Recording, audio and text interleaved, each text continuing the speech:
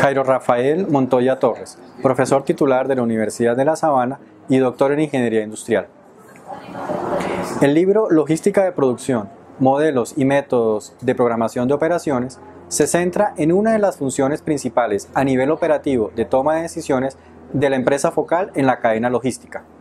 A lo largo de los capítulos, el libro presenta diferentes modelos y herramientas para apoyar el proceso de toma de decisiones en la programación de las operaciones en empresas de manufactura y de servicio, estudiando tanto modelos simples como cuellos de botella hasta configuraciones complejas y programación de proyectos.